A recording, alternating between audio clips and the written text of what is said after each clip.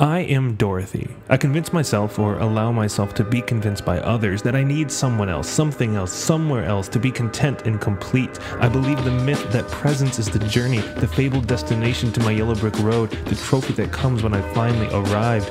Only like Dorothy, that which I seek has been with me the entire time, perpetually beneath my feet. Home is just a heel click away. Presence is always right here and never out there. Be free where you are, not where you think you ought to be.